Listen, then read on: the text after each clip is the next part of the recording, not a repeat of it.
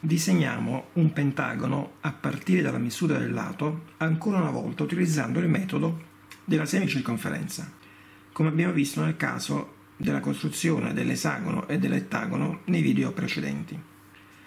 Il procedimento è sempre lo stesso ed è lo stesso per qualunque tipo di eh, poligono. E allora vediamo la procedura.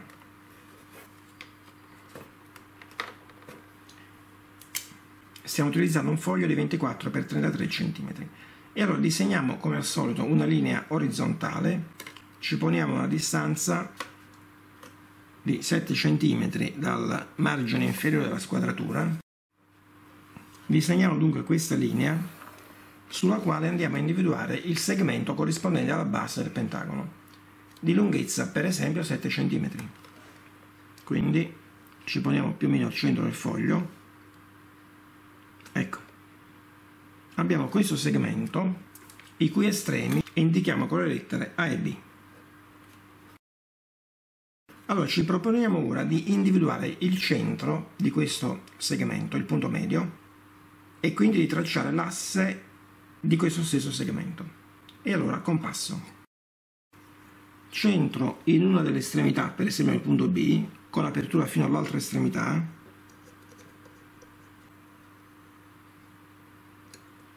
e tracciamo due archetti, uno e due centro nell'altra estremità, quindi nel punto A con la stessa apertura, e tracciamo questi altri due archetti. Gli archetti si incontrano in questi due punti che andiamo a unire.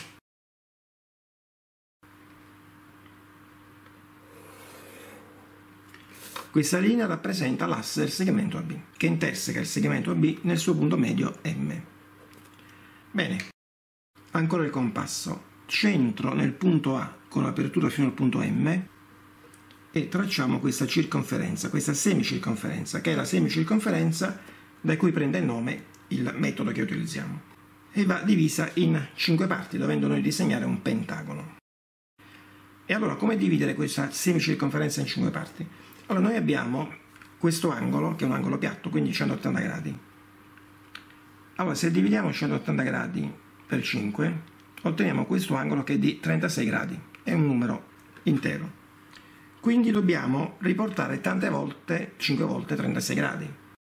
Quindi individuiamo gli angoli di 36 gradi, ancora 36 gradi più 36 gradi, quindi 72 gradi, 72 gradi più 36 gradi, 108 gradi, più ancora 36 gradi, 144 gradi, più ancora 36 e ovviamente arriviamo a 180 gradi.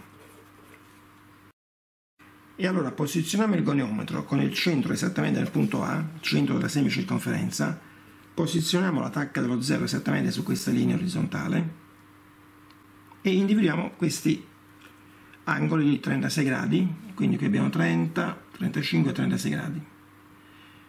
Poi 72, qui abbiamo 70 più 2 gradi. 108, qui abbiamo 100, 5 108 gradi. 144, qui abbiamo 140 e quindi più 4 gradi e qui 180 gradi. Bene, uniamo questi punti allora con il punto A.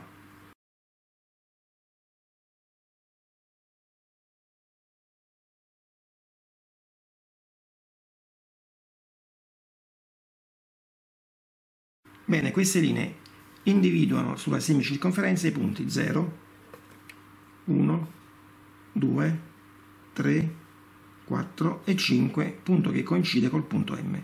Ora, questa prima linea non ci servirà per la costruzione del pentagono.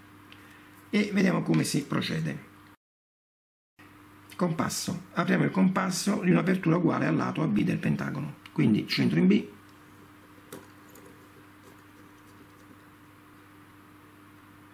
apertura fino al punto A. Quindi centro ancora in B e disegniamo questo archetto che interseca la linea che passa per il punto 4 in questo punto nel quale andiamo a centrare e tracciamo quest'altro archetto che interseca questa linea in questo punto che è un altro vertice del pentagono. Poi ancora centro nel punto A e tracciamo questo archetto che interseca in questo punto la linea che passa per il punto 2 Infine centro in questo punto e tracciamo quest'altro archetto. Bene, abbiamo individuato tutti i vertici del pentagono che ora possiamo andare a unire.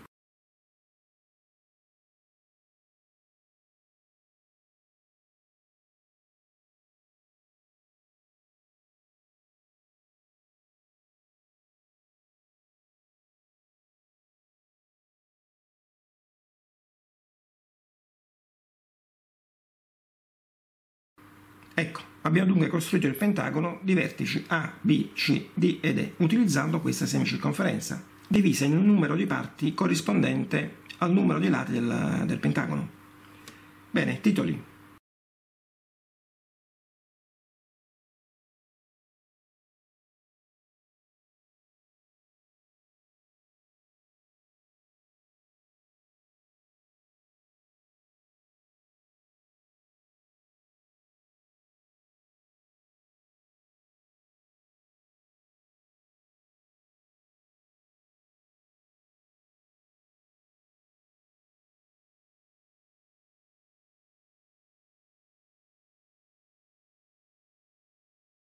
Ecco, abbiamo dunque disegnato la costruzione di un pentagono regolare, dato il lato, lunghezza 7 cm, utilizzando il metodo della semicirconferenza. Possiamo fermarci qui, buon lavoro.